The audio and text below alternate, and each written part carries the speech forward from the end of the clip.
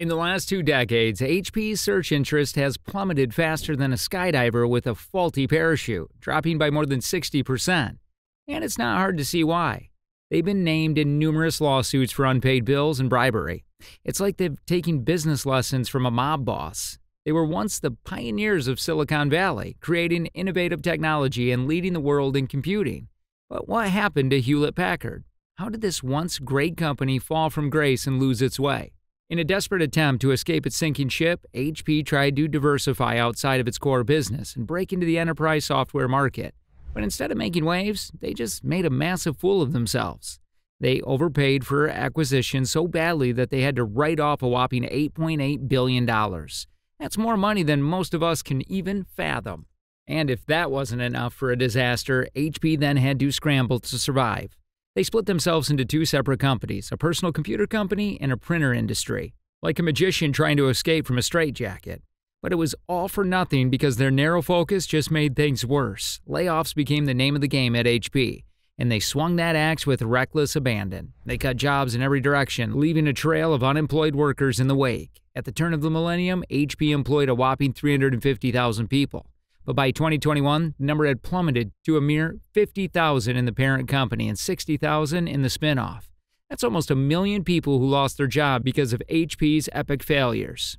You might think that firing thousands of employees would help HP's financial situation, but you'd be dead wrong. In fact, they've only gotten weaker and weaker, like a wet noodle in a hurricane. The odds of HP Inc. filing for bankruptcy are currently at a whopping 38%, while HP Enterprise isn't far behind at 44%. To put it in perspective, the chances of Apple going bankrupt are about as likely as a unicorn winning the lottery. But it wasn't always like this for HP. Back in the day, they were the cool kids on the block, the OGs of Silicon Valley. They were founded by a guy named William Redington Hewlett, or Bill Hewlett for short, over a century ago. Bill was born just before World War I, and thanks to his dad's cushy job at the University of Michigan, he didn't have to worry about the war too much. In fact, his family even moved to what would become Silicon Valley because of a job promotion. Talk about good timing. Bill wasn't just a pretty face, though. He was highly educated, unlike some of Silicon Valley founders we see today. He got his bachelor's degree in engineering from Stanford and went on to get a master's degree from MIT. But he wasn't done there. No, no. He went back to Stanford to get another master's degree in electrical engineering. This guy was a glutton for punishment. But even with all of this education, Bill couldn't have predicted what was going to happen to HP. They went from being the founders of Silicon Valley to being drained dry by the very business they had influenced. It's like watching your kid grow up to be a deadbeat. Sad, really. Bill and David were college buddies who loved electronics, and it was clear they were going to be lifelong pals. But David's first love wasn't electronics. He preferred throwing around basketballs and pigskins. So after college, he took a job at General Electric in New York, which was probably the safest move he could make after dodging tackles on the football field. However, David didn't stay at GE for long. He decided to go back to Stanford to get his master's degree in electrical engineering, which was definitely the geekiest decision he could have made.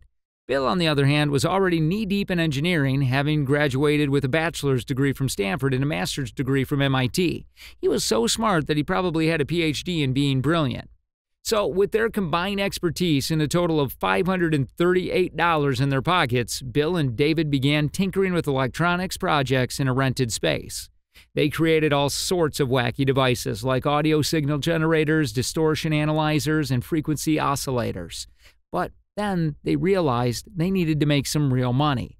So they focused on creating something that people would actually buy.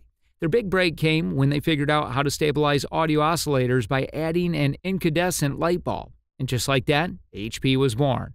But not without some drama. If David had won the coin toss, their business would have been called PH, which would have been a terrible idea because who wants to be reminded of their high school chemistry class nightmares?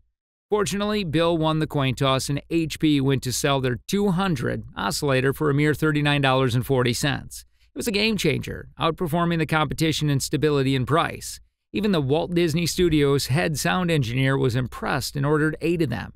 And so Bill and David went from being college buddies to business partners, making a name for themselves in the electronics world. It just goes to show you that two brainiacs with a little bit of money and a lot of talent can achieve great things.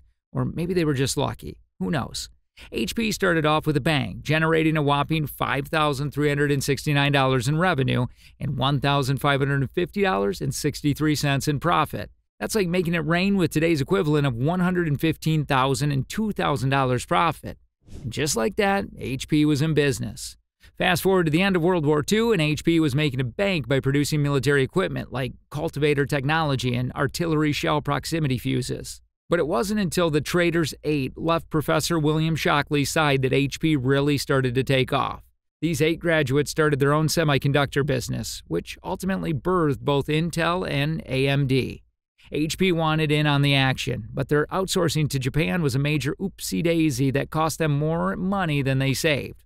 Finally, in 1966, HP entered the computing industry with the HP 2100 slash HP 1000. But here's the kicker they didn't want to expand into the personal computer market. No, not going to do it. And when Steve Wozniak offered them a PC idea five times, they rejected him every time. Talk about a missed opportunity. But don't worry, they eventually entered the PC market in 1988 with the HP 85. They were ready to take on IBM, but let's just say it was a bit of a late start. HP always making moves, even if they're not always the right ones. Better late than never, I suppose. It was the best of times, it was the worst of times for HP. They were printing money quite literally with their selection of inkjet and laser printers, as well as scanners. This was the HP we know and love today, but back then, they were more dominant than King Kong on steroids. In fact, they were so successful that they registered their ninth domain, HP.com, which was bigger deal than a discovery of the Holy Grail. And if that wasn't enough, the group that launched HP was recognized as a historical landmark, making them even cooler than Indiana Jones. But alas, the 90s arrived and things started to go south for HP. The demise of the company was not due to one single factor, but rather the death by a thousand paper cuts.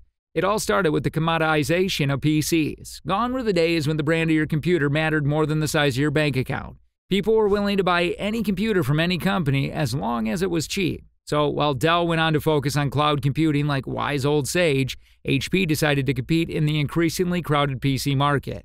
And boy did they try. But as they say, trying is the first step towards failure. Their profit margins were so low that they made Scrooge McDuck look like a philanthropist. Even Acer, the no name brand, was giving them a run for their money. Dell may have faced a similar dilemma, but they handled it like a boss.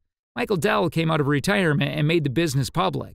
They did a Microsoft and shifted to providing infrastructure solutions and cloud computing, which are the industries that are currently booming. Their consumers' business now serves more to build brand recognition than to generate revenue. HP, on the other hand, was still trying to compete in the PC and printer markets year after year. Like a marathon runner with a broken leg, HP's attempt to enter the cloud market was a massive flop, so bad that big organizations wouldn't even give them the time of day. And it's no surprise, really. I mean, have you ever seen their touchpad? They introduced it in 2001, and it was such a disaster that they stopped making it in less than two months. That's like breaking up with someone before the first date. Ouch. But HP didn't stop there. Oh no. They thought, hey, let's try the smartphone industry. What could go wrong, right? Well, let me tell you, it didn't go well. In fact, their acquisition of Autonomy Corporation was probably their biggest mistake. They invested over $10 billion into the business, but it turned out to be a total disaster. The eight HP brands they acquired only served to undermine autonomy. It's like bringing eight cooks into a tiny kitchen and expect them to work together without any arguments. Spoiler alert, it never ends well. So, what did HP do next? They tried to pivot, but it's like putting a band aid on a bullet wound. They had already missed the boat, and the American tech sector had shifted away from hardware. Google sells its hardware at a loss or for no profit for a reason. The real money is in software. Even Apple knows this, which is why they've been pushing their surfaces so much. But HP? They've been beating a dead horse for decades, and things have only gotten worse for them. They had to lay off employees left and right, and it's not looking good for the future. Unless they have a real revolution, they are screwed. It's like watching a slow motion train wreck. It's not pretty, but you can't look away. And that, my friends, is the dramatic and hilarious story of how HP lost all its significance. Thanks for watching. If you enjoyed the video, make sure to hit the subscribe button and turn on notifications. Don't miss out on our upcoming videos, and we'll see you in the next one.